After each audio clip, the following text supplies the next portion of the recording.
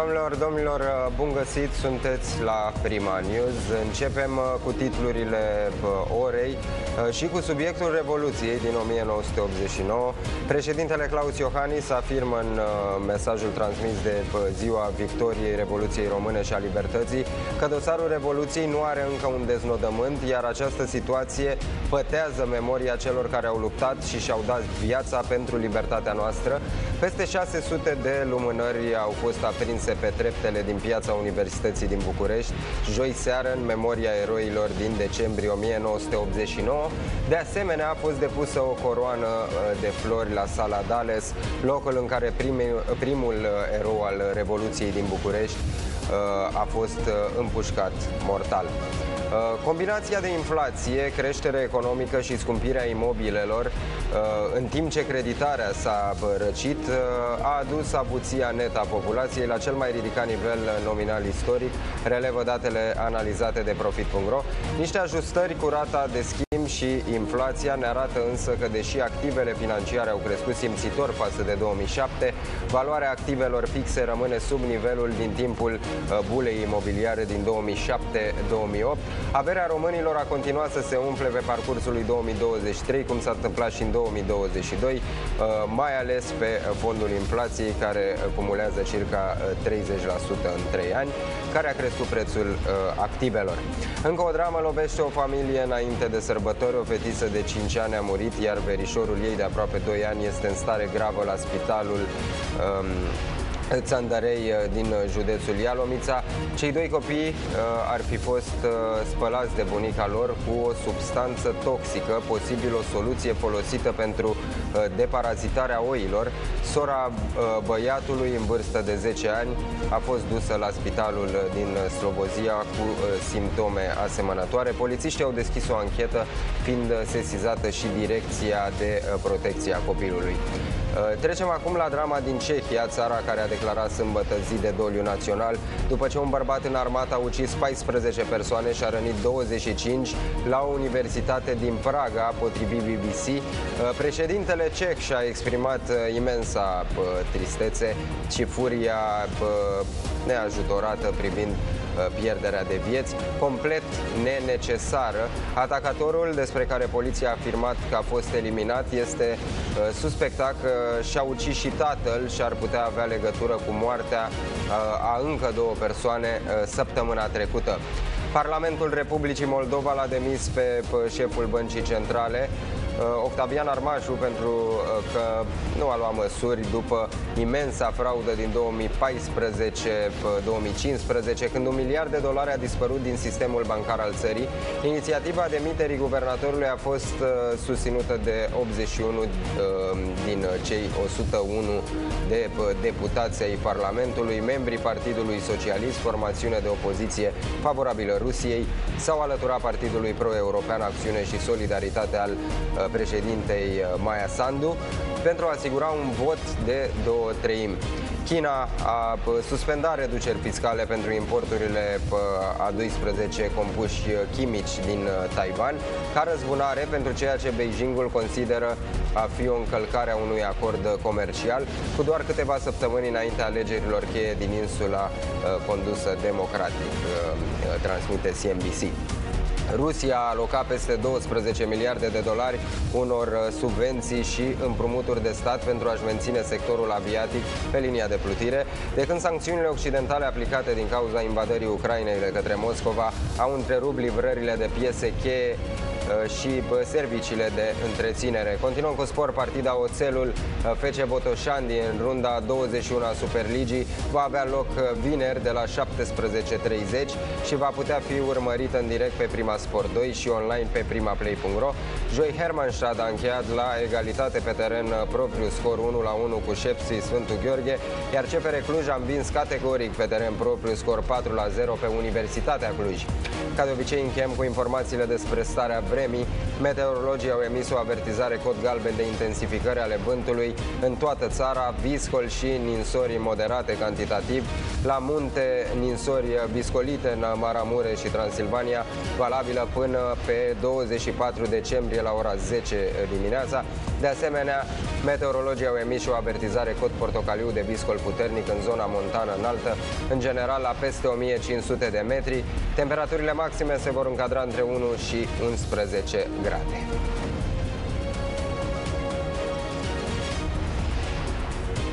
Discutăm despre sistemul de sănătate și despre uh, disputa între ministrul sănătății Alexandru Rafila și șeful DSU Raed Arafat. Uh, practic, uh, ministrul Alexandru Rafila, prin abrogarea unei uh, comisii, l-a lăsat pe Raed Arafat fără Um, fără control asupra unităților uh, de urgență, unităților de primire urgență. O să uh, dezbatem acest subiect și avem și o întrebare pentru dumneavoastră cei de acasă. De la ce credeți că a început disputa între ministrul Alexandru Rafila și Raed Arafat? Așteptăm răspunsurile dumneavoastră pe pagina de Facebook Prima News sau pe numărul de WhatsApp 0727 222 244. Vă aștept la dezbateri după o scurtă pauză.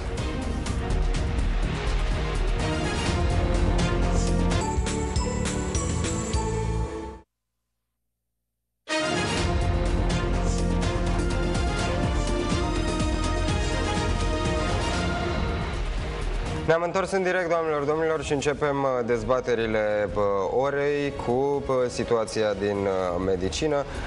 Practic, ministrul Alexandru Rafil a abrogat un a abrogat comisia un ordin de ministru privind Comisia Medicină de Urgență și Dezastre. Practic, abrogând acest ordin de ministru, îl lasă pe uh, șeful DSU, Raed Arafat, fără control asupra unităților de primiri uh, urgențe. Acolo, bineînțeles, uh, sunt și niște motivații din spatele deciziei lui Alexandru Rafila. O să le dezbatem în, în această oră.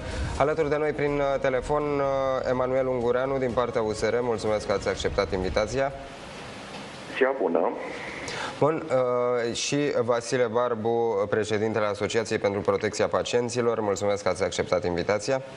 Bună ziua! Și o să ni se alăture pe parcursul acestei ore și Florian Bodog, uh, fostul ministru al Sănătății uh, și reprezentant al Partidului Social Democrat în acest dialog. Bun, domnule Ungureanu, vă rog să începem cu un comentariu. Cum vedeți disputa asta până la urmă pe, pe controlul unităților de primiri urgențe între Ministrul Sănătății Sănătății Alexandru Afila și uh, șeful DSU Raed Arafat? În primul rând aș vrea să spun că discuția despre controlul uh, serviciilor de urgență între domnul Rafila și domnul Arafat este mai veche. Aici este o luptă pentru, pentru putere, nu există un interes public la care să se gândească domnul Rafila atunci când uh, a anunțat uh, public că vrea să preia uh, controlul serviciilor de urgență. Este un prim pas într-un plan mai amplu pe care îl are domnul Rafila în acest sens.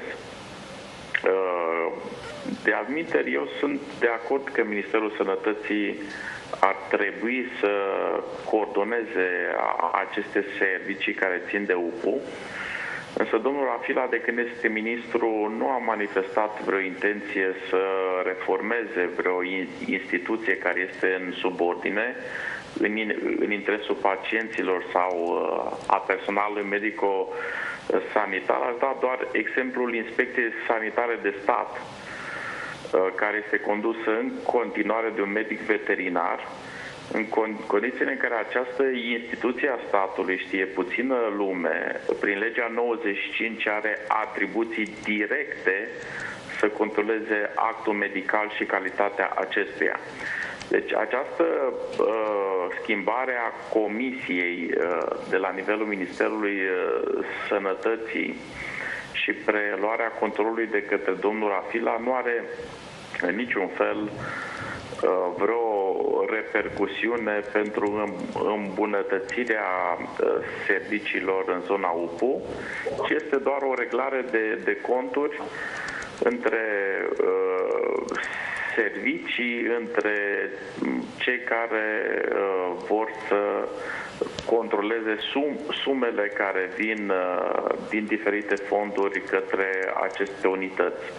Deci, din păcate, nu am vești bune pentru pacienți sau pentru personalul medico-sanitar, ci, uh, repet, domnul Rafila i-a pus gând rău, uh, să zicem, domnului Arafat de foarte mult timp și doar execută un plan prin care reduce puterile acestuia în zona de medicină de urgență. Domnule Barbu, cum vedeți, cum vedeți subiectul?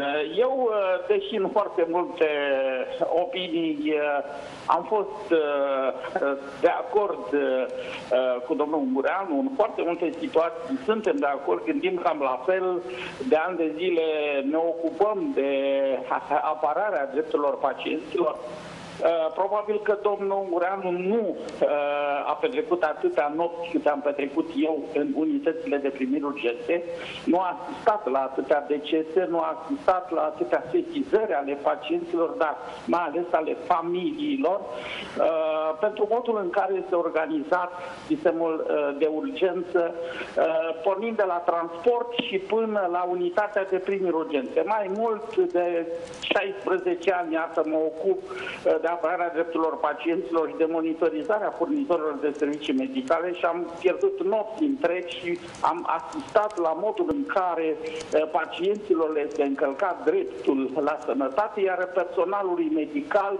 le este încălcat dreptul a munci în siguranță, fără burnout, adică fără stres, Uh, cronic și fără uh, să fie cineva să stea cu piciul în spatele lor și fără să fie aibă conducători, de multe ori, de cele mai multe ori, coordonatori uh, ai unităților de primiri urgențe puși pe alte criterii decât cele pe competență și cele care să colaboreze, să relaționeze foarte bine cu tot spitalul, pentru că unitatea de primiri urgențe trebuie să funcționeze într-un sistem perfect integrat, uh, altfel se produce ceea ce se produce în prezent.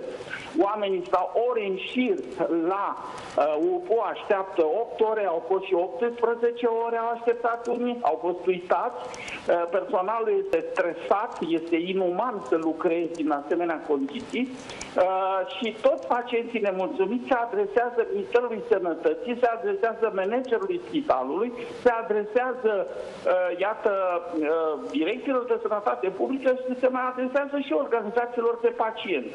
Așa aflăm noi că acest sistem de ani de zile, din 2014, de când domnul Arafat a votat cu uh, domnul Ponta și domnul Ponta i-a modificat legislația după cum a vrut dumnealui uh, și mai mult i-a făcut campanie electorală domnului Ponta și ca drept răsplată i-a permis să modifice legislația, să o aducă la modul ăsta încât a divizat sistemul medical, uh, da, inclusiv componenta de urgență l-a divizat între domnul Arafat și uh, Ministerul Sănătății. Și acest lucru nu numai domnul Rafila l-a întâmpinat, eu am discutat cu uh, aproape toți miniștrii, chiar nu, chiar cu toți miniștrii uh, de, de, din 2014 încoace, încoace și am, uh, le-am explicat și toți au fost de acord că nu este corect așa, însă n-au avut curajul pentru că domnul Arafat a fost susținut de tot felul de politicieni, de tot felul de oameni din mass media și le-a fost teamă că de domnul Arafat nu se ia nimeni.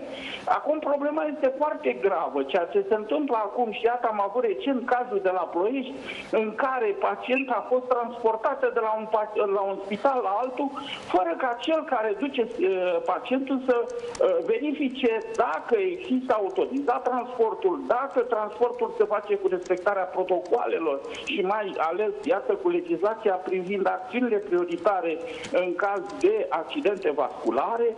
Uh, deci, uh, practic, uh, au fost foarte mulți oameni care au fost nenorociți datorită acestei debandate în relaționarea dintre sistemul de urgență și spitale, care trebuie, spitalul este cel care trebuie să soluționeze uh, cazul din punct de vedere medical sub toate aspectele și sub aspectul urgenței medicale.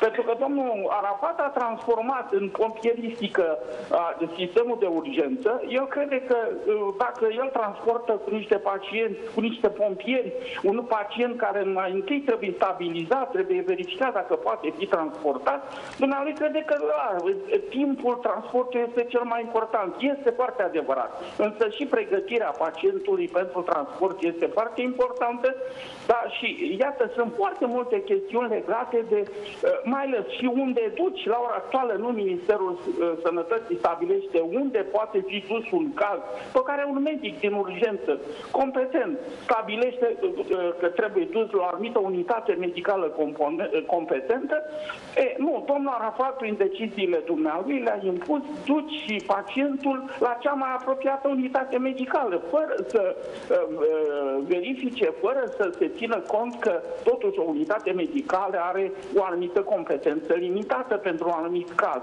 Un anumit caz. Deci, iată, acest sistem la ora actuală este unul care nu funcționează corect, produce victime, produce cheltuieli imense, a separat, dacă vreți, iată, laboratorul din UPU este diferit față de laboratorul din spitalul. De...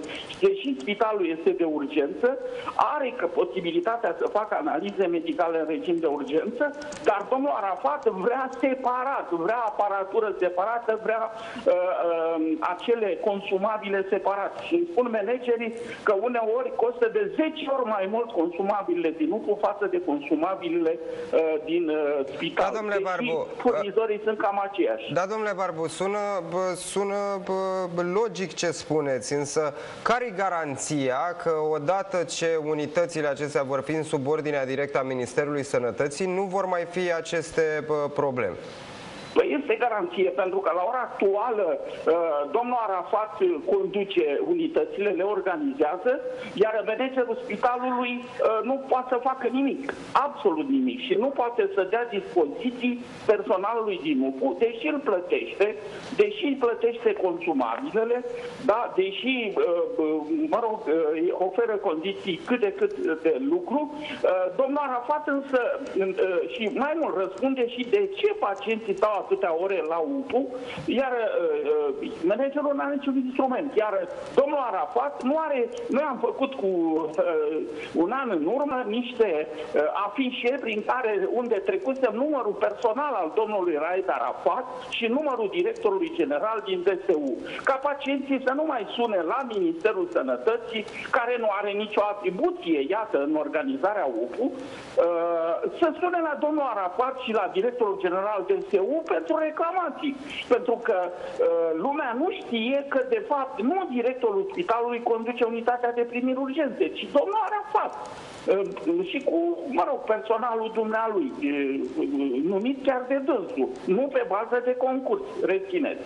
Deci, iată, uh, acolo este stat în stat. Uh, sistemul de sănătate și mai ales cel de urgență este obligatoriu să funcționeze la modul integrat. Nu avem voie să uh, săpăm tranșee, linii, garduri, sârmă pată și alte lucruri între sistemul de urgență și sistemul medical. Și există, se știe foarte bine, și domnul Ungureanu știe că a petrecut în lui nopți destule și zile prin spitale, știu asta, și știe foarte bine care este conflictul dintre medicii din urgență și medicii de pe secții. Care păi de asta și spus domnul Ungureanu, că înțelege cumva ca uh, unitățile de primiri urgențe ar trebui gestionate de Ministerul Sănătății, însă apar semne de întrebare și despre Ministerul Sănătății, despre capacitatea de gestionare a unităților de primiri urgențe.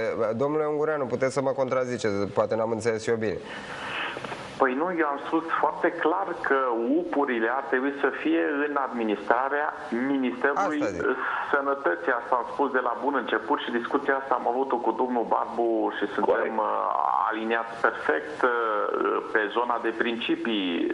Scepticismul meu vine uh, în urma cum să spun, a faptelor unui ministru în funcție. Adică eu sunt foarte Uh, puțin încrezător să spun așa că domnul Rafila, care n-a reformat în 2 ani de zile nici DSP-urile, nici Inspecția Sanitară de Stat, nici o instituție care este în uh, subordine, are vreun plan, vreo uh, strategie să facă ceea ce numește foarte corect domnul Barbu, un sistem integrat de îngrijire a pacienților care să fie uh, funcțional. Eu uh, uh, nu vreau să personalizez, mă deranjează foarte tare și domnul Barbu a remarcat foarte bine că atunci când vorbim de, vorbim de medicină de urgență, de UPU, e nevoie să punem un număr de telefon a unei persoane.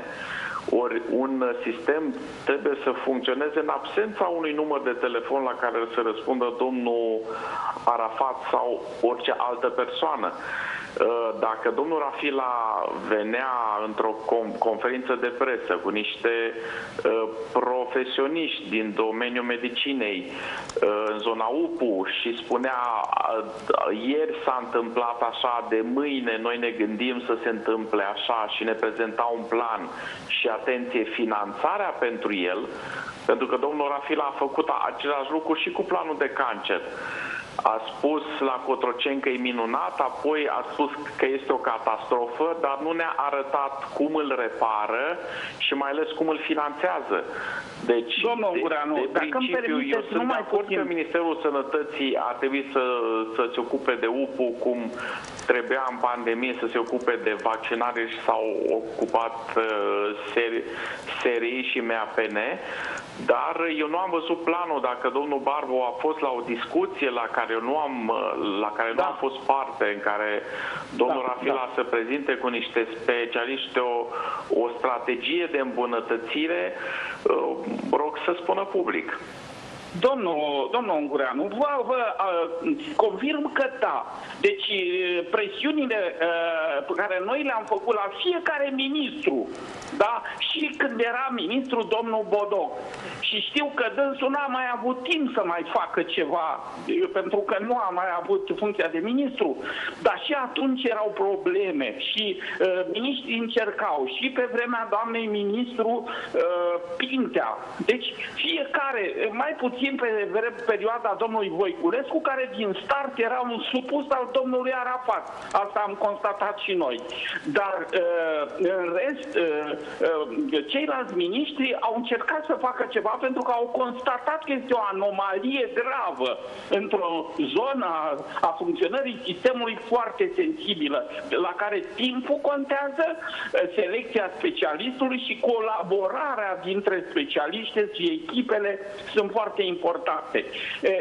Mai mult, trebuie sistemul să funcționeze unitar, integrat.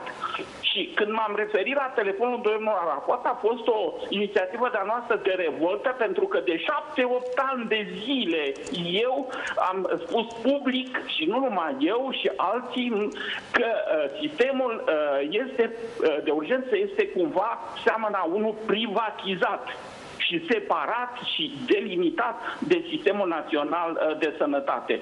Iar nu domnul Rafila este cel care uh, gestionează acest lucru. Am discutat cu manageri de spitale, vă rog să discutați cu dumnealor, să vedeți ce vă spun. Păi am discutat. Am discutat cu șef de secție de terapie intensivă, să vedeți ce vă spun. Am discutat cu directori și cu medici din sistemul de ambulanță, să vedeți ce vă spun.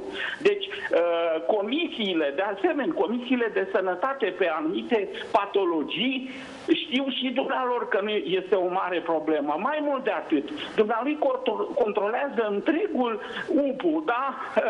Uh, uh, și sistemul de ambulanță și sistemul SMUR. Uh, haideți să vedem acolo că acolo ajung și pacienți care nu sunt de urgență. Orice pacient se internează într-un spital doar trecând prin urgență, că așa vrea domnul Arafat.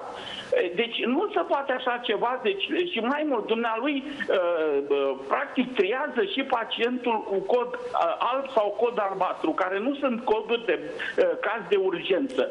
Doar verde, galben și roșu este caz de urgență.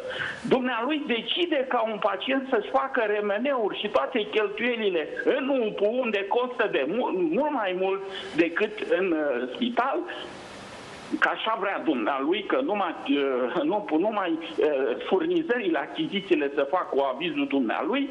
Deci acolo, uh, iată, există o separare foarte clară da, în, în ce privește utilizarea fondurilor pentru pacienți care nu sunt urgență și care pot fi tratați la medicină de familie, în ambulatoriu.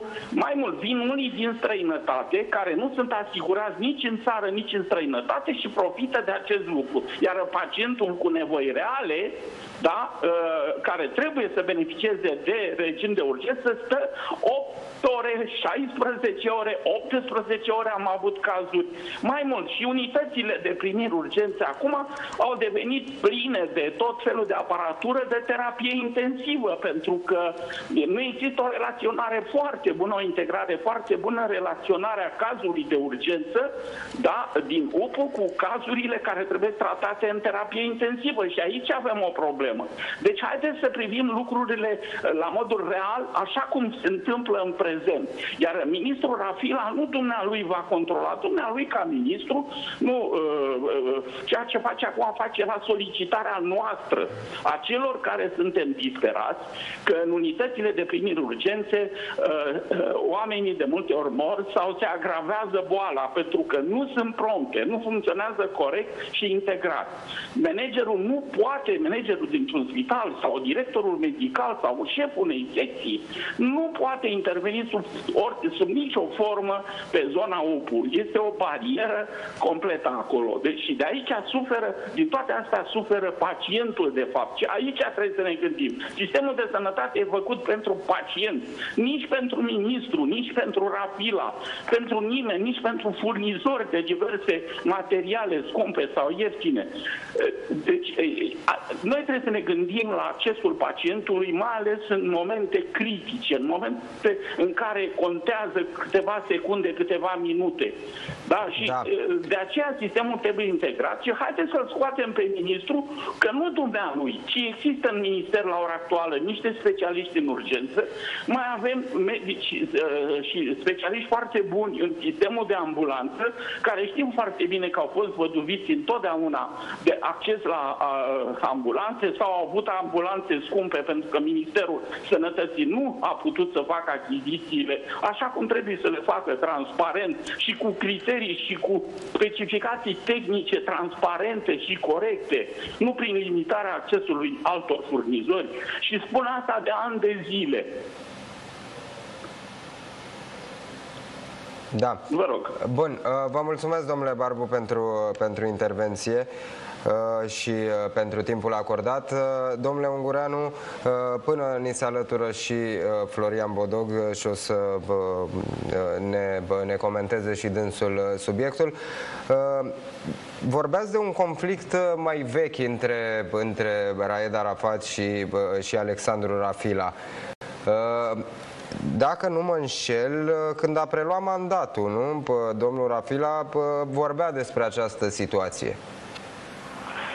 Da, este un uh, conflict mai vechi și între domnul Bodog uh, și domnul Arafat. Sper să intre domnul Bodog în uh, direct ca să poată să-mi dea o replică la ceea ce spun. Așa este corect. Când era ministru, discuția era despre serviciul județean de ambulanță versus SMURD Uh, cine controlează achizițiile de ambulanță, cine controlează uh, serviciile uh, integrate. Eu am încercat sub acești miniștri, inclusiv sub miniștrii noștri, mă refer la Mihailă și Voiculescu, am încercat să depersonalizăm, dacă vreți, această discuție despre sistemul integrat. Nu știu de ce s-a pus întotdeauna discuția că la SMUT trebuie să fie ambulanțe noi, la ambulanță să rămână în, în, în urmă. Au fost discuții da. nesfârșite. Haideți că ni s-a alăturat și, uh, și domnul, uh, domnul Bodog și nu poate sta foarte mult alături de noi. Este într-o comisie. Domnule Bodog, bun găsit la, la Prima News. Mulțumesc pentru invitație, bine v-am găsit. Spunea și domnul Ungureanu și domnul Vasile Barbu din partea pacienților, Asociației pentru Protecția Pacienților, că e un conflict mai vechi între modul în care care a fost gestionată zona asta de primiri urgențe sub conducerea lui Raed Arafat și Ministerul Sănătății, respectiv manageri de spitale și au explicat. Și înțeleg că și dumneavoastră ați avut astfel de, în mandatul dumneavoastră la Ministerul Sănătății, ați avut astfel de dispute pe zona asta de primiri urgențe. Da, este adevărat. Practic, disputele, disputele sunt legate de faptul că Ehm, această mm, mm, asistență medicală de urgență este împărțită ca atribuții între Ministerul Sănătății și Ministerul de Interne, ceea ce eu consider că nu este normal. În mod uh, normal, uh, activitatea ar trebui gestionată la vârf, ar trebui gestionată într-un singur loc, așa cum este gestionată și la nivel de județ din uh, cadrul dispeceratului unic.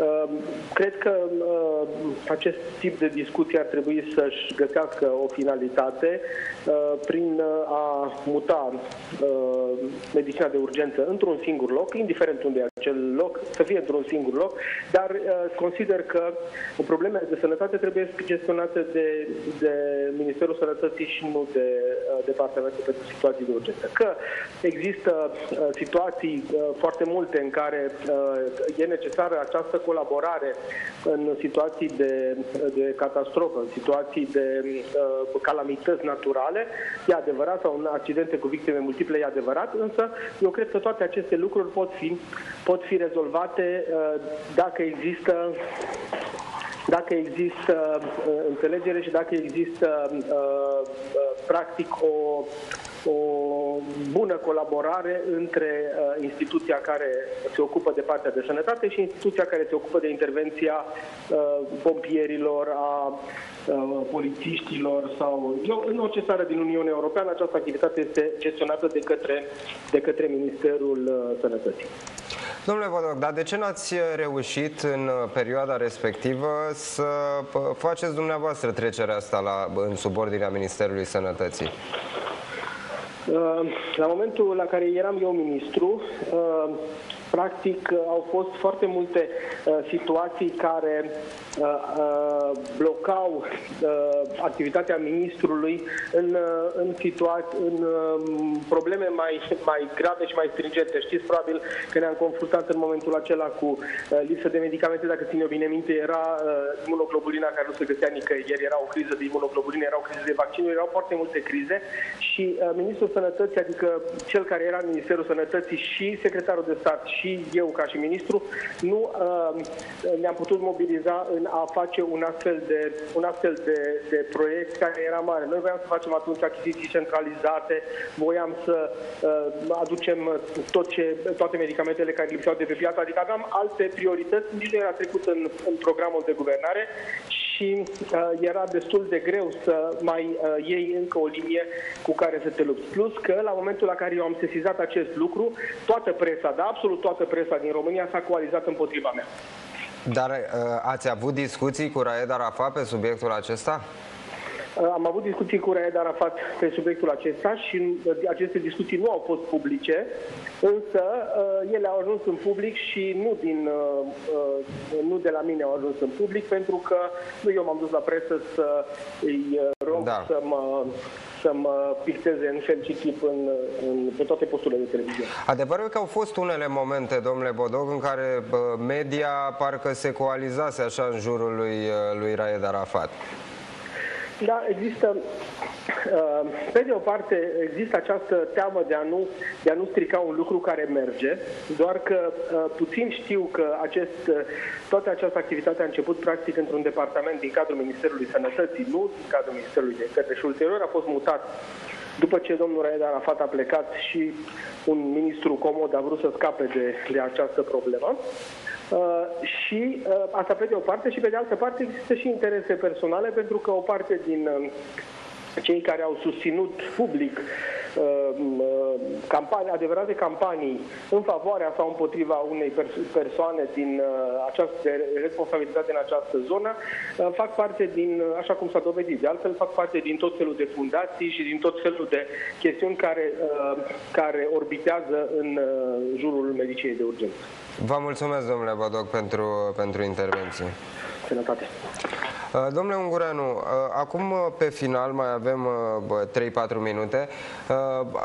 N-aș vrea să pară sau să înțeleagă cineva că este o emisiune împotriva lui Raed Arafat și aș vrea să îi recunoaștem și anumite merite, pentru că înainte să preia zona asta de primiri urgențe, cred că toată lumea își amintește de vechile ambulanțe și de cum, cum era zona asta gestionată, de riscai să, uh, vorba aia, să mori în casă până ți ajungea ambulanța, adică uh, cumva, cumva a dus lucrurile la un alt nivel uh, ca, și inclusiv ca mașini, ca mod de gestionare, adică sunt și lucruri bune, identificați și lucruri bune?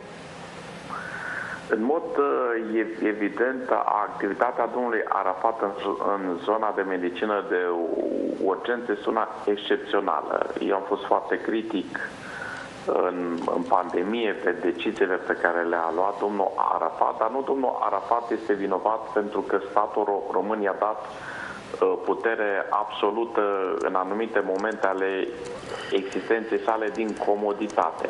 Și aici s-a creat acel lanț românesc. Jurnaliștii aveau o urgență, trebuiau pentru o rudă o ambulanță mai repede, îl sun pe Arafat. Se rezolvă problema și atunci când domnul Arafat era criticat, uh, jurnaliștii care au apelat la ei sau patroni sau oameni din servicii spuneau, domnule, Raie de prietenul nostru, hai să-l apărăm. Eu încerc să depersonalizez, uh, ați văzut cât de personală este discuția și a personalizat-o și domnul Bodov, da? Deci el a încercat să discute cu domnul Arafat în privat. Domnul Arafat a spus în presă și s-a creat anti și pro. Eu încerc să discut de când sunt în Comisia de Sănătate uh, vicepreședinte lucrurile uh, în afara, în afara disputelor personale. Sistemul trebuie să devină funcțional în subordinea Ministerului Sănătății și de ce nu domnul Arafat să treacă la Ministerul uh, Sănătății și să ne arate o echipă nouă care să-l înlocuiască. Pentru că nici domnul Arafat nu e vești, nici, nici domnul Afila, nici eu. Deci trebuie uh, medicina să fie scoasă din zona de orgolii personale uh, și din zona asta de personalizare. Nu mai poate lumea, la un moment dat nu mai putea în zona transpantului fără Lucan, fără Irinel Popescu, fără alții. Uh, sunt medici tineri, sunt oameni care trebuie, trebuie să ia și partea de medicină de uh, urgență și sistemul trebuie să fie integrat. Nu trebuie să aibă uh, Arafat moșia lui, Rafila pe a lui și ei să se bată pe moșii. Deci deocamdată la această oră sunt foarte sceptic în privința așa zisei reforme a upurilor, pentru că Rafila încă trebuie să ne spună că așa a spus că s-a dus în Cuba o săptămână să ne aducă un medicament minune pentru pacienții cu diabet. În afară de bronzul de pe corpul lui, eu n-am văzut niciun medicament de diabet pentru pacienți uh, în Rom- România. Deci nu am încredere în Ministerul Sănătății condus de Rafila și de PSD și acesta este motivul pentru care nu cred că acesta are vreun apetit pentru reformă, ci doar este o cotonogeală între el și uh, Rafila pentru bani și pentru funcții. Dar principiul rămâne același.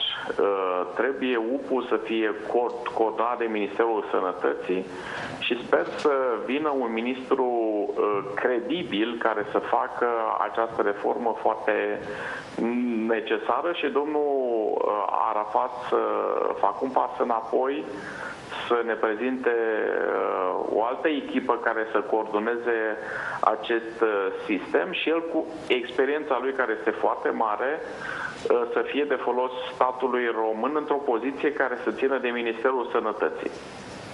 Vă mulțumesc, domnule Ungureanu, pentru intervenție și că pă, ați comentat alături de noi acest subiect. O să urmărim în continuare, evident, pentru că sănătatea, educația, așa cum bine știți, um, cele două sectoare uh, uh, fac parte din uh, subiectele noastre de interes și odată la ceva timp, iată, ne întoarcem, ne reîntoarcem asupra lor și vă prezentăm cele mai noi informații din zona asta. Pauză, ne revedem la fix cu titlurile orei și discutăm despre Revoluție. Cine a tras după 22 decembrie 1989? O întrebare la care încercăm să răspundem. Vă aștept!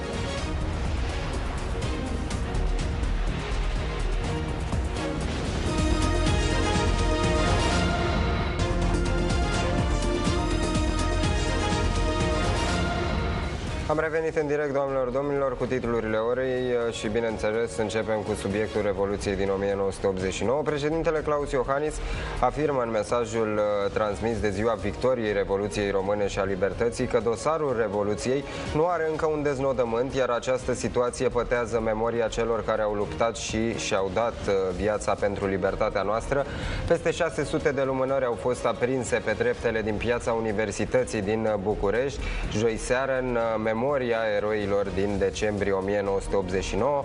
De asemenea, a fost depusă o coroană de flori la Sala Dales, locul în care primul uh, erou al Revoluției din București a fost împușcat mortal. Uh, combinația de inflație, creștere economică și scumpirea uh, imobiliarelor, în timp ce creditarea s-a răcit, a adus avuția netă a populației la cel mai ridicat nivel nominal istoric, relevă datele analizate de Profit.ro, niște ajustări cu rata de schimb și inflația ne arată însă că deși activele financiare au crescut simțitor față de 2007, valoarea acestora, valoarea activelor fixe rămâne sub nivelul din timpul bulei imobiliare din 2007-2008. Averea românilor a continuat să se umfle pe parcursul lui 2023, cum s-a întâmplat și în 2022, mai ales pe fondul inflației, care cumulează circa 30% în 3 ani, care a crescut prețul activelor.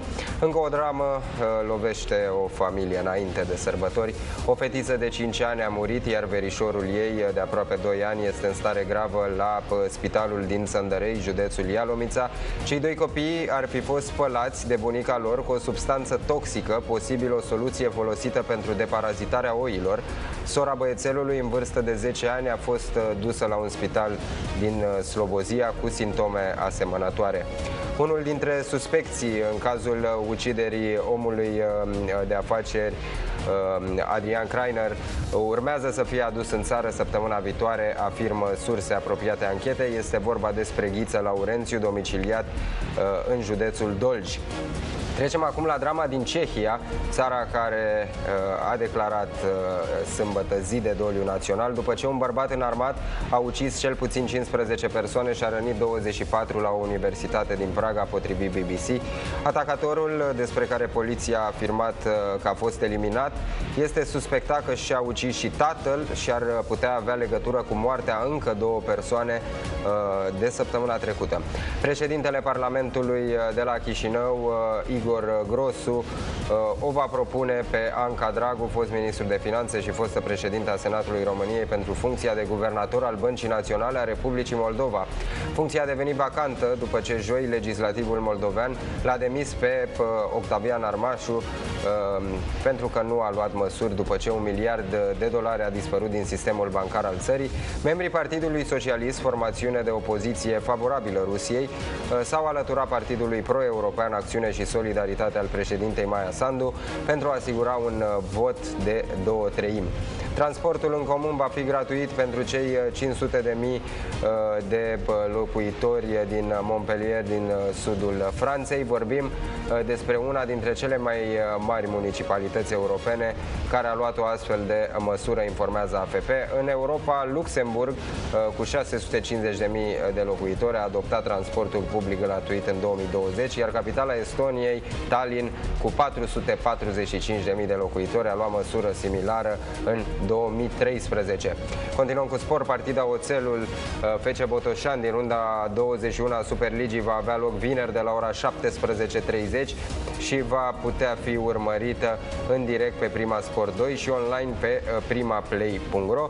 Joi, uh, Herman Șad a încheiat la egalitate pe teren propriu scorul 1 la 1 cu Șepsi Sfântu Gheorghe, iar CFR Cluj a învins categoric pe teren propriu scor 4 la 0 pe Universitatea Cluj. Ca de obicei încheiem cu uh, informațiile despre starea vremii. Meteorologii au emis o uh, avertizare cod galben de intensificări ale vântului în toată țara, viscol și ninsori moderate cantitativ la munte, ninsori viscolite în Maramureș și Transilvania, valabilă până pe 24 decembrie la ora 10 uh, dimineața. De asemenea, meteorologii au emis și o avertizare cod portogaliu de viscol puternic în zona montană înaltă, în general la peste 1500 de metri. Temperaturile maxime se vor încadra între 1 și 11 grade.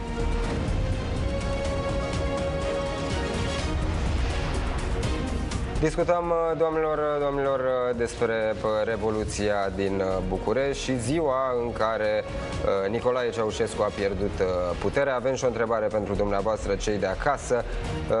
Ce a fost în decembrie 1989, revoluție sau lovitură de stat?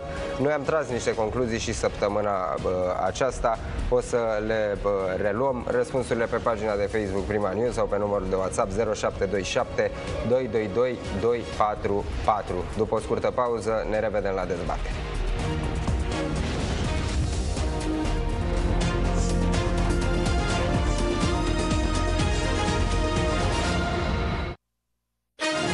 Tori fericite! Mie Dumnezeu mi-a dat mai mult ca la alții.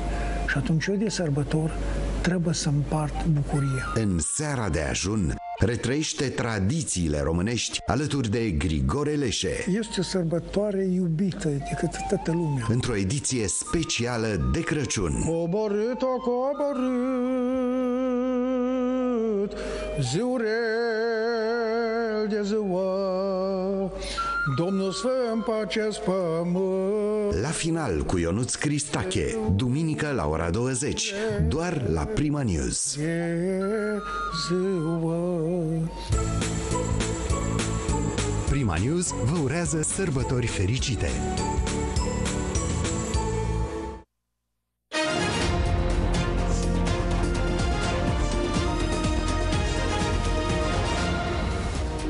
Am revenit în direct, doamnelor, domnilor, continuăm uh, discuțiile începute săptămâna aceasta uh, despre Revoluția Română uh, și vă reamintesc că tot într-o vineri, tot pe 22, în 1989, Nicolae Ceaușescu pierdea puterea undeva la 12 și 6 minute, cum, cum ne-a spus invitatul de săptămâna aceasta, care se află în continuare alături de noi în platou. Bună ziua, domnule profesor, domnul profesor Bogdan Bucur, mulțumesc că ați acceptat din nou invitația și continuăm discuția.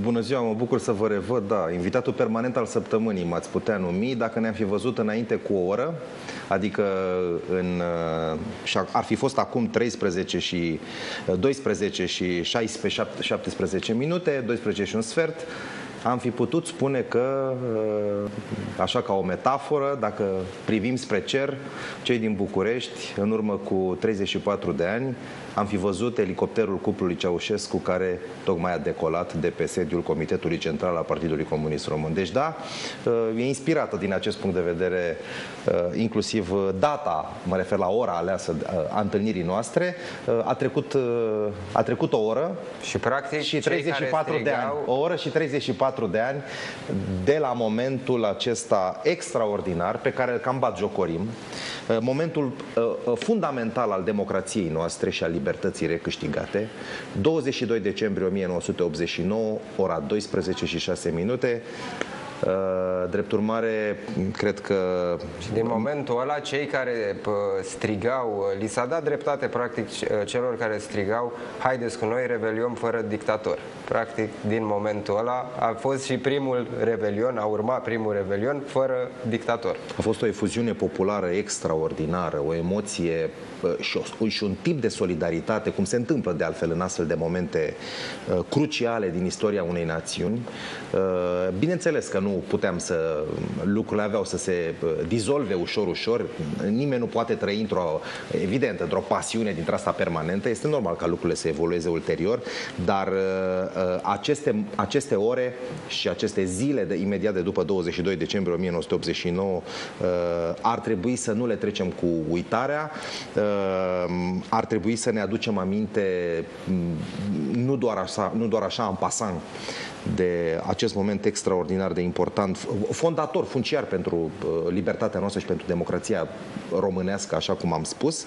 Uh, ne cam place să ne batem joc de, de, de, de ea. Uh, lucrul acesta se întâmplă din mai multe motive, dar nu vreau să anticipez întrebările dumneavoastră pe care le aștept cu interes în funcție de ceea ce doriți să discutăm astăzi. Bun, uh, să le reamintim uh, răspunsul uh, celor de acasă. I-am întrebat, pentru că iarăși a apărut pe buzele tuturor întrebarea Revoluție sau lovitură de stat și le-am cerut părerea celor care se uită la noi și discutam, o să dau puțin din casă acum, discutam pe pauza de publicitate că noi am oferit deja un răspuns la întrebarea Revoluție sau lovitură de stat. Dacă doriți să-l repetați, poate ni s-au alăturat telespectatori pe parcurs.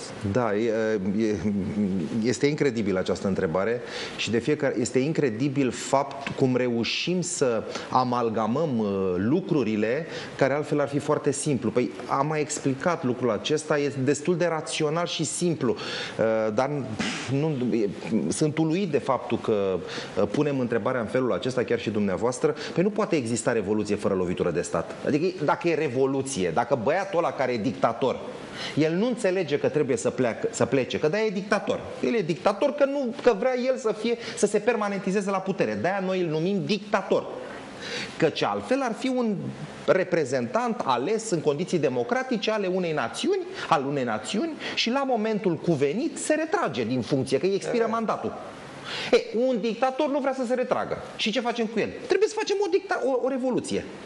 E cât se poate de rațional revoluția incumbă, presupune, înglobează lovitura de stat, că nu-l putem răsturna altfel decât printr-o lovitură de stat.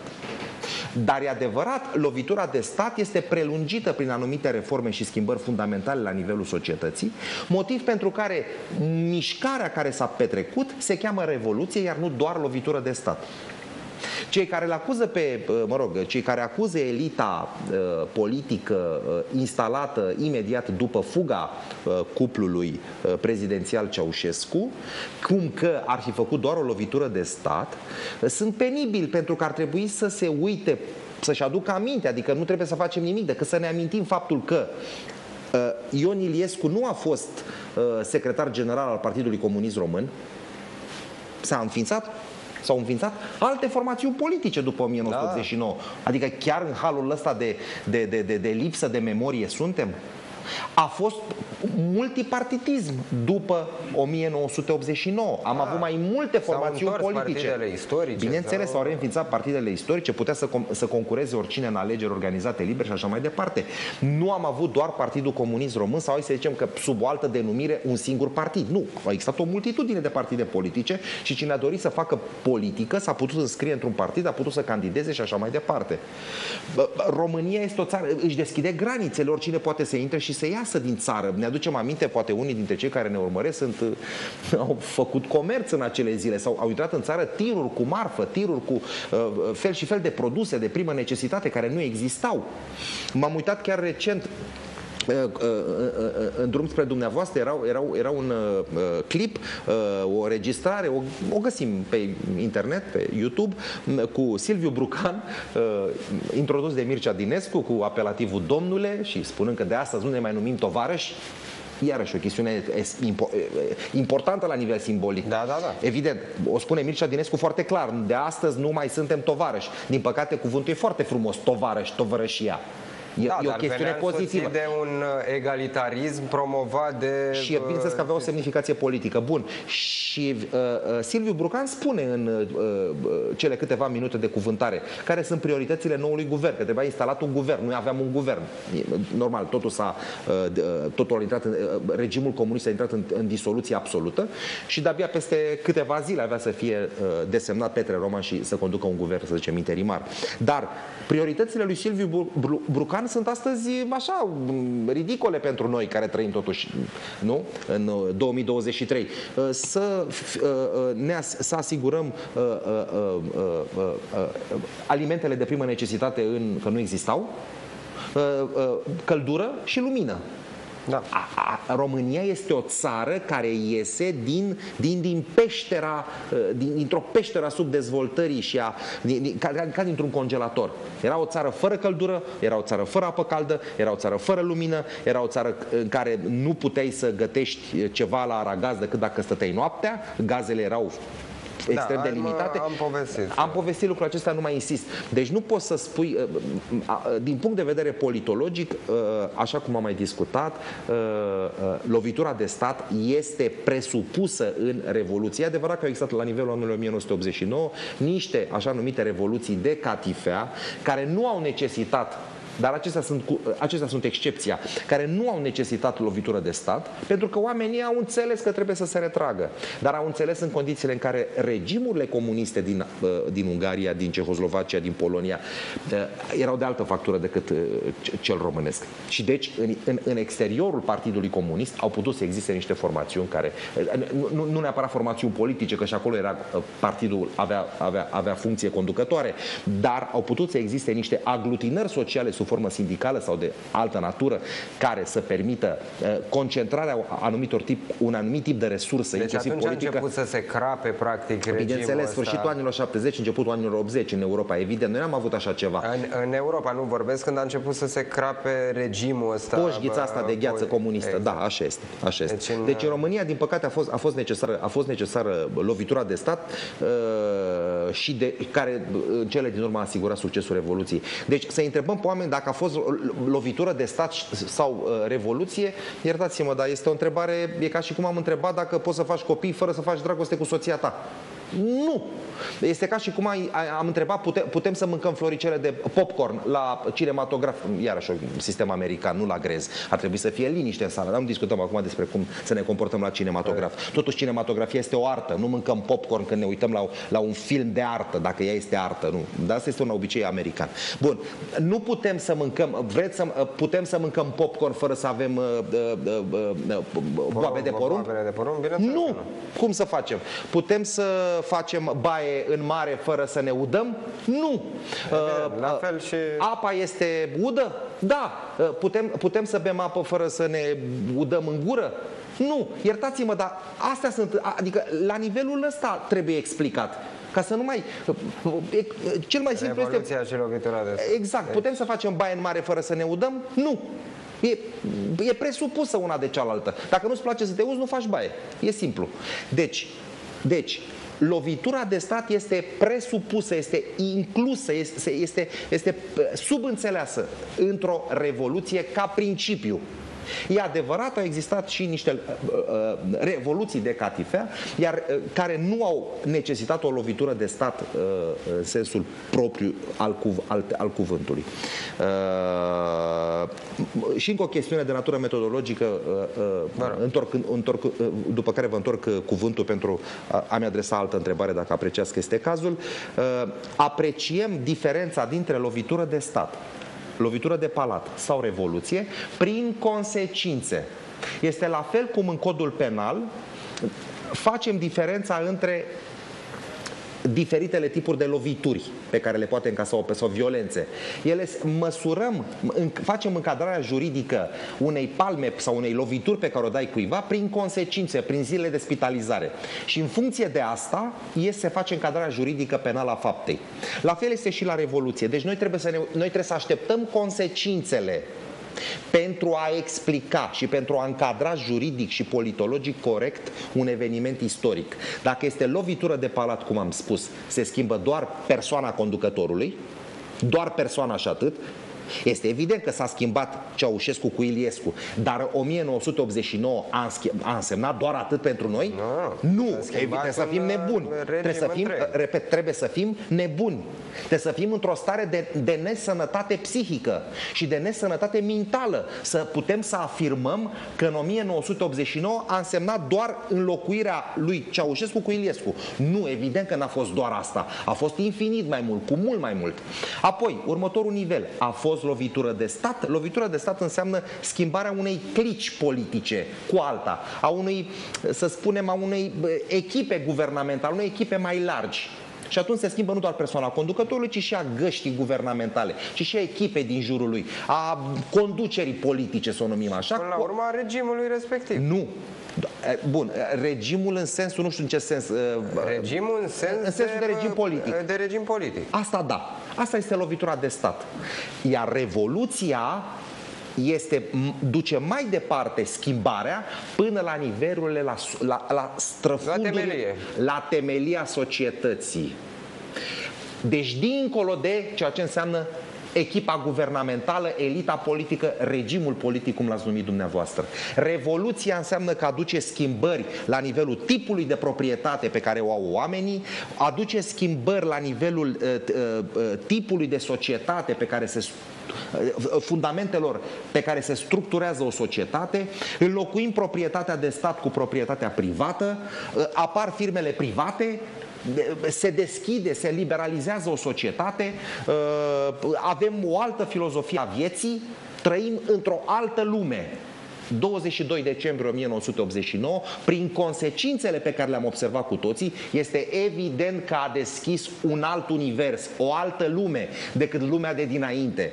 Este o lume în care puteam călători liber, granițele erau deschise, Bucureștiul și România se, se umplu de mărfuri, vin peste noi televizoare color. Am uitat pe aveam așa ceva până atunci? Evident, da. Evident că nu aveam. Vin peste noi produse, produse ale Occidentului, produse manufacturate, fabricate în Occident, pick-up-uri, tele, habar n-am, telefoane de toate felurile, produse electrocasnice, că nu aveam.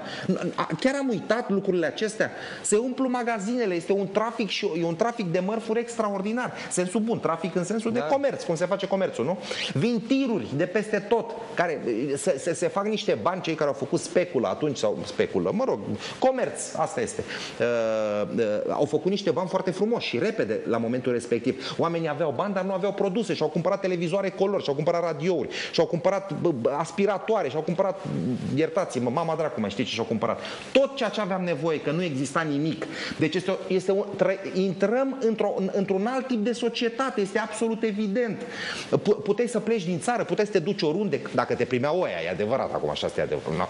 Tu poți să pleci, dar trebuie să te mai și primească. Uh, începem să ne îmbrăcăm altfel. Avem, uh, uh, uh vestimentația se schimbă. Da, ne am uitat, apar, ne doream tot să purtăm blugi. E celebra, e celebră, apar blugi. Sau poate îți doreai părul mai lung. Îți doreai părul mai, mai lung, mai lung și să nu te, să nu te pieptene securitatea. Îți doreai să lași barbă, îți doreai să participi la concerte de rock, da. să aibă loc în România să concerteze Michael Jackson. Păi a concertat Michael Jackson pe vremea lui Ceaușescu? Bineînțeles. Păi nu. Deci este un alt tip de societate până în, până în străfundurile acestea. În, și trebuie să dăm genul acesta de, de exemple. Restaurante private se înființează. Aduceți-vă aminte, Ceaușescu făcea târgurile foamei, care astăzi sunt moluri. Poate am uitat. Mol Vitan și uh, mai este uh, uh, în cartierul Rahova, uh, foarte aproape de casa mea, este uh, Liberty. Liberty Mall, exact. În București, Liberty Mall și Vitan Mall, am uitat, erau târguri ale, erau, erau cer scuze, uh, uh, uh, loc, locații erau gândite ca locuri unde, de alimentație publică în care un întreg cartier să vină să, să se hrănească acolo. Da. Nu târguri ale foamei, ci circuri. circuri, exact, cir, circuri ale foamei. Vorba și acum au devenit moluri. Asta este o schimbare extraordinară ca, ca, ca, ca simbol.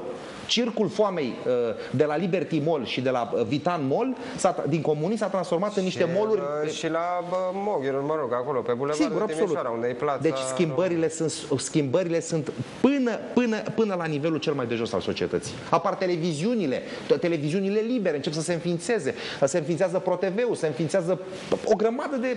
Este o societate care se schimbă cu totul și din păcate, din păcate noi nu înțelegem, nu că nu înțelegem, înțelegem că nu ne contrazice nimeni nimeni, că se uită lumea la noi. Nu râde nimeni când eu vorbesc acum. Oamenii și aduc aminte. Dar uită, nu le acordă importanță, pentru că oamenii se obișnuiesc cu binele. După Bun. care uh, inventăm nostalgii dintre astea defectuoase. Bun. Uh, dictatorul a fugit, a zburat. Da, a zburat uh, și uh, a zburat odată cu plecarea, cu zborul uh, de pe CC. Uh, s-a terminat uh, și cu uh, uh, cu conducerea, cu regimul Nicolae Ceaușescu. Apare întrebarea asta. Cine a tras după, do, uh, după 22 decembrie 1989? Pentru că uh, și acum mă uit prin, uh, prin documente pe care au legătură cu dosarul Revoluției, arată că cele mai multe victime au fost făcute după fuga lui Nicolae Ceaușescu. Așa este. Nu știu dacă putem să le arătăm uh, celor care ne privesc coperta unei cărți, sau eu pot, o să numesc titlul. Uh, acum cei care ne urmăresc dacă au în mână uh, un telefon mobil sau un laptop, un calculator, oricum, sau ceva să-și noteze, este o carte care trebuie să o amintim în contextul discuției despre Revoluție. Eu consider că această carte, mă refer la trăgători și mistificatori contra Revoluția Securității în decembrie 1989, o pot arăta, nu știu, la cameră, nu știu dacă se vede, habar n-am, că pot să arăt o fotografie a coperta cărții pe telefonul mobil. Este o carte uh, uh, coautorată de Andrei Ursu, uh, Roland Thomason și Mădălin Hodor. A apărut la editura Polirom. Așadar, în această lucrare, trăgători și mistificatori, Subtitlul sugerează răspunsul la întrebarea dumneavoastră Revoluția securității în decembrie 1989. În această... Problema este că noi, inclusiv discuțiile pe care le avem, da, trebuie probate. Și dacă nu-i trimis pe oameni la o sursă care să conțină documente și o interpretare a faptelor și ei sunt evident, evident e așa opinia lui ăla, ăla zice, ăla zice într-un fel, ăla zice într-un fel și bun. Uh, realitatea este realitatea documentată în această carte și invit pe cei care ne privesc să nu ne creadă pe noi doi. Uh, cartea este povestită, am văzut, inclusiv pe YouTube. Așadar, dacă, uh, dacă se tastează pe YouTube titlul acestei cărți, Trăgători și mistificatori contra Revoluția Securității în decembrie Adică e și un soi de audiobook. E și un soi de... povestită de povestită cineva. De... Îmi cer scuze, nu m-am uitat, am citit cartea, da. deci, dar am văzut că cineva face lucrul acesta foarte bine, timp de două ore vorbește despre ea. Mi se pare extraordinar. Deci cine, că avem acum foarte mulți români, iertați-mă, dar eu sunt și profesor și de fiecare dată atac și problema asta, doar 6,5% din populația României a cumpărat o carte anul trecut. Deci nu ne prea place să citim, după cum știm, avem peste 45%, avem spre, 4, spre jumătate dintre copiii de vârstă adolescentă a României sunt în zona analfabetismului funcțional. Nu ne place să citim nici nouă, nici copiilor noștri, ceea ce este perfect. România are un viitor de aur. Uh, evident că e parodiez acum. Dar mă întorc la întrebarea dumneavoastră. De ce în această carte Trăgători și mistificatorii, spun titlul a treia oară, uh, de uh, Andrei Ursu, Roland Thomason și Mădălin Hodor, Explicația la întrebarea dumneavoastră este foarte clară. În noi, după 22, a tras, au, au, a tras anumite componente ale securității statului, care erau extrem de bine înzestrate din punct de vedere militar. Ceaușescu nu avea încredere în armată, el avea încredere în securitate. De altfel, toți, toți, toți, toți dictatorii în perioada modernă își fac își organizează anumite structuri de securitate care le, le datorează o loialitate politică Uh, uh, uh, incontestabilă. Același lucru l-a făcut și Hitler, l-a făcut și Stalin, l-a făcut și Ceaușescu, se întâmplă în foarte multe regimuri dictatoriale din epoca modernă. Când ăștia nu se bazează doar pe Ministerul de Interne și pe Ministerul Apărării, cele două da, da. clasice instituții ale unei democrații. Ei mai înființează și un soi de poliție politică și gardă pretoriană personală care se ocupă cu lucrurile murdare ale regimului. Așadar, în cadrul securității au existat organisme extrem de bine înzestrate militar, care, în condițiile în care România ar fi fost parțial ocupată de către trupe inamice, ei să acționeze în spatele frontului, producând pagube ocupantului, și pentru a permite pentru Bun, a permite și aveau la dispoziție armamentul respectiv. Aveau la dispoziție armament prin care să provoace, prin care să producă uh, uh, haos social, prin care să producă uh, uh, uh, impresia unui atac, aveau uh, capacitatea de a reverbera sunete care să sune a mitralieră, este genul de. Uh, uh, uh, îmi cer scuze, eu nu sunt uh, specialist în studii militare, sunt unul dintre românii care n-au doctorate în studii militare și iertați-mă, e o glumă asta, dar suntem, știi, că s-a umplut țara de doctori în, uh, în n-am înțeles exact în ce, că nu e o știință, dar uh, deci uh, de asta mă stăpânesc mai greu lucrurile acestea, că mă ocup cu altceva în această viață, deci nu cu uh, cum facem, uh, uh, cum producem uh, zarvă uh, și uh, zgomote astfel încât să lăsăm impresia unui, unui, unui, unui atac uh, masiv. Dar existau deci asemenea structuri în cadrul securității care au fost activate de către, uh, de către dictatorul Ceaușescu. Este și motivul pentru care în ultimele lui discursuri tot timpul insista pe faptul că țara este atacată că este atacată, dacă vă aduceți aminte în ultimul discurs ținut la, ținut la televiziunea publică, el vorbește despre faptul că este pusă în pericol integritatea, suveranitatea, integritatea teritorială a României că sunt structurile informative străine, agenturile, Agenturile agenturile străine care vor să țărișoara. Nu vrea nimeni nicio agentură străină, era doar în mintea lui bolnavă de psihopat. El inventează un inamic extern pentru a putea activa în plan intern aceste structuri ale securității și care să, îi, care să poată să uh, îi permanentizeze regimul. Deci asta se întâmplă după 22 decembrie 1989. Uh, este evident că uh, securitatea nu a reușit prin metode specifice să înăbușe Revoluția. Niciodată un orga, o, o, o agenție de securitate de, de, de genul acesta nu-și asumă focul deschis, nu poate să facă treaba aceasta. Este și motivul pentru care mulți securiști au fost au îmbrăcat haină militară, de militar în termen, da, da. și oamenii au văzut că trage armata. Dar deci de mult... armata trecuse de partea populației. Exact, exact. Dar erau mulți securiști îmbrăcați în, haine, în, în, în haină militară, și astfel încât oamenii au văzut uh, militari MAPN trăgând. Dar de multe ori erau securiști. Bun. Deci în această carte găsiți răspunsul la întrebarea cine a tras în noi după, după 22, o parte, o parte a securității pe care dictatorul uh, Nicolae Ceaușescu a, react, a activat-o a activat-o pentru, a, uh, pentru a-l putea susține în uh, încercarea nenorocită de a se întoarce la, guvern, la, la putere și deci să creeze haos astfel încât oamenii să se producă, uh, oamenii să se, uh, mă rog, ceea ce s-a și întâmplat de altfel, sau, sau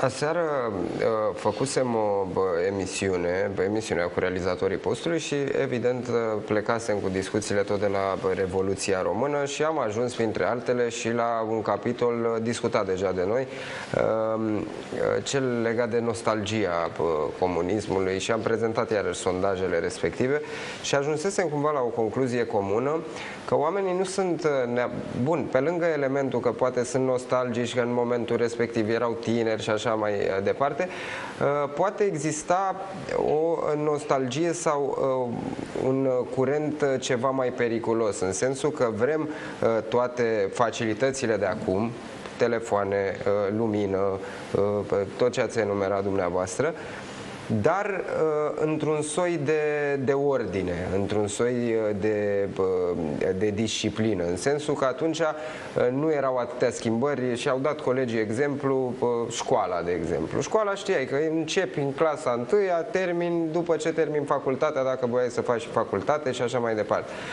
Uh, acum se schimbă, uite, bacul nu e bacul, sunt trimestre, sunt semestre și e un soi de dezordine de asta. Asta a fost un exemplu uh, punctual că vorbeam de educație. Și uh, tânjesc după un soi de ordine, uitându-se poate și la alte state care în momentul de față au regim comunist, de exemplu China, Și uh, care e diferența între comunismul de 2023, comunismul secolului 21 și comunismul uh, pre-decembrist, să spun? Mi-a spus mai multe întrebări într-una singură. Uh... Bun, dacă vrem să vedem cum arată comunismul chinezesc, care nu e comunism, e o societate capitalistă cu, foarte, cu, o, cu o bogăție de produse și un nivel de trai bun, chiar foarte bun. Uh, implicarea statului în viața este privată importantă. de mare. Da. Dar dacă vrem să înțelegem cum funcționează China și cum arată China, cred că putem să o vizităm. Se intră în China, România, adică nu e o problemă să vizităm China. Și dacă ne place acolo, putem rămâne acolo. Adică, iertați-mă, e o glumă, dar dacă vrem să experimentăm da, un regim comunist, exemplu China. Păi să mergem, adică cine este doritor, suntem într-o țară liberă.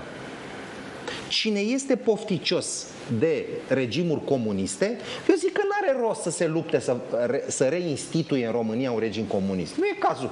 Adică hai să mergem, de ce să ne chinuim? Hai să mergem acolo unde ele deja există. Și din moment ce există în China sau în Corea de Nord, cei care sunt pofticioși să experimenteze, să reexperimenteze un regim comunist, invitația mea recomandarea mea, că nu am mai mult decât să putem, fac o, o recomandare, ei pot să nu o respecte. Dar recomandarea mea este să se mute Republica Nord-Coreană, respectiv Republica Populară Chineză. Le recomand totuși Republica Populară Chineză, unde este un nivel de trai. Dar vedeți posibilitatea deci... asta să fie, să fie o nostalgie, exact ce vă spuneam că discutam seara trecută, după, după ordinea sau lucrurile erau cumva mai uh, clare, adică s-au creat și o anumită dezordine și aici na, poate fi vina și conducerii și așa am mai discutat data trecută. Uh, este adevărat, o expresie mare, nu știu dacă o citez eu acum uh, integral corect, dar anarhia sau dezordinea, să știți că este prețul pe care îl plătim pentru libertate. Adică libertatea are și formele ei inacceptabile.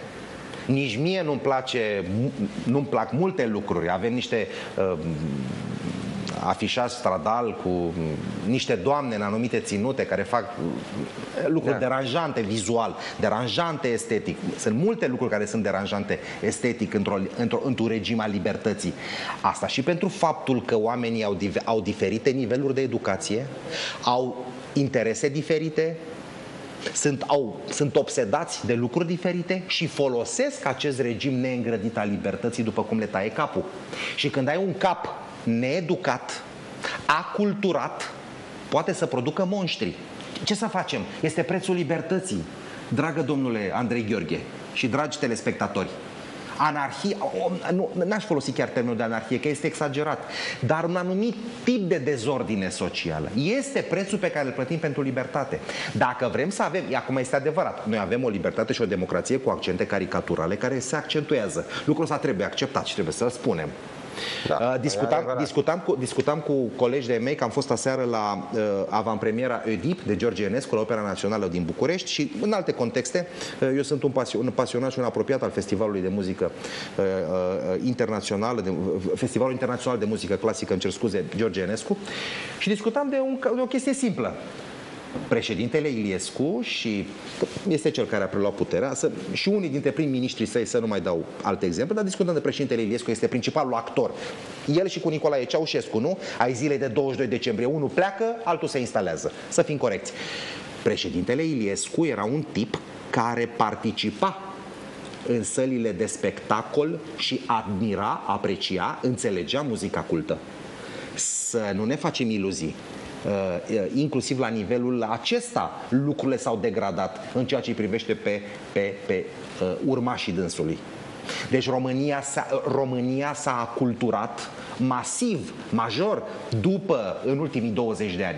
Cu alte cuvinte, democrația românească, da, este una caricaturală, este, accentele uh, caragialești se accentuează în societate, uh, uh, fel și fel, am mai discutat și în emisiunea dumneavoastră și cu alte prilejuri, este absolut inacceptabil ca niște analfabeți aculturați să ajungă, uh, uh, să dețină zeci, sute de mandate în Parlamentul României. Sunt oameni care nu se exprimă corect, sunt secretari de stat. Au ajuns acolo prin vot. Au ajuns acolo prin vot. Sigur, cei care evident, ne evident că trebuie să menționăm și acest lucru prin vot cu o prezență la vot extraordinar de, mic, de mică. Iertați-mă, și cei 45% dintre copiii noștri de vârstă adolescentă care sunt analfabeti funcțional sunt copiii celor care ne privesc. Evident că cei care ne privesc acum se vor simți probabil atacați și să uite ce zice profesorul Bucur, că nu e al meu. Normal că nu e al meu, niciodată nu e al tău. Fiecare zice, al meu nu. Da, testele PISA arată altceva. Arată da. că unul, dintre, unul din doi eh, rezultatele, rezultatele pe care noi le avem pe măsurătorile pe care le facem în educație ne arată o, o stare de degradare teribilă. Și la nivel de autorități ne mai și lăudăm că am rămas la nivelul din 2018. E genial, da, și se cheamă reziliența asta. Absolut genial, da, când am auzit asta, da. fabulos. Da, găsit... Mie spunem dacă avansez, nu dacă am rămas pe loc sau dacă am ajuns mai prost. Adică... Absolut, absolut, absolut. E... absolut. Deci, uh, uh, uh, deci este adevărat că este adevărat trebuie să acceptăm faptul că uh, e, e greu să trăiești în, în libertate și în democrație, să știți. Este foarte greu să-ți găsești de muncă, este, avem o economie de piață concurențială, este foarte greu să accepti că cel de lângă tine e mai bun decât tine și drept urmare are un serviciu mai bun, are o mașină mai uh, fățoasă, mai făloasă decât a ta, stă într-o casă sau într-un apartament mai mare decât al tău, într-o zonă mai bună. E frustrant. Da, dragi telespectatori, da, domnule Andrei Gheorghe, democrația generează frustrare generează nemulțumire, generează invidie, generează gelozie, nu în sensul de pasiune uh, afectivă, ci în sensul de și cum, zicea, și cum zicea Ioan Rațiu, practic asta înseamnă democrația. Să, ca tu să ai dreptul să nu fii de acord cu mine. E adevărat și adică... până la urmă să acceptăm faptul că într-o societate liberă avem, avem aceste inegalități, dar sunt stridente în societatea românească. Tot noi am spus-o și eu în diferitele, uh, mă rog, uneori îmi face plăcere să particip la astfel de, eveni- de emisiuni și să mai discutăm și serios, nu doar așa, da. să aruncăm palavre. Uh, noi avem și o clasă politică incompetentă, care ar trebui, să, minut. ar trebui să armonizeze aceste probleme. Asta este, asta este chestiunea. Deci trebuie să acceptăm anumite forme, uh, să le numim sclerozate ale libertății, de toate felurile.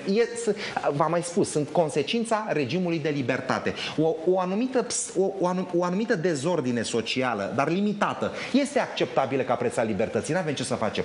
Dar o clasă politică responsabilă ar trebui să armonizeze lucrurile astfel încât să nu, ajungă, să nu se ajungă la discrepanțele de natură socială și salarială care au ajuns să fie și de natură culturală care au ajuns să fie în această, în această Românie. Și încă o dată închid cu ideea că avem o mare parte din populație populație abandonată, abandonată social, abandonată în, abandonată în lipsă de educație, abandonată în, în, în, lipsă de, în, în, în lipsa accesului la cultură.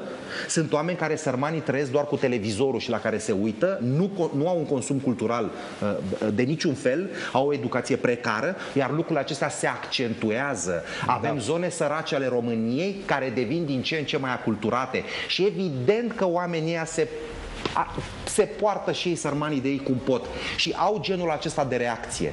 Au genul acesta de reacție imaginându-și că pă, își proiectează fericirea, așa este adevărat. Un semnal în uh, diferite... de alarmă tras de dumneavoastră, domnule profesor, uh, acum pe final. Vă mulțumesc pentru prezență și sperăm să ajungă unde trebuie mesajul ăsta de încheiere transmis de dumneavoastră. Acestea fiind spuse, doamnelor, domnilor, vă, vă urez uh, sărbători fericite, un Crăciun de poveste alături de uh, cei uh, dragi uh, și să ne revedem cu bine tot în zona asta de libertate, așa cum am discutat până acum. Vă mulțumesc pentru atenție, o zi frumoasă în continuare și sărbători fericite!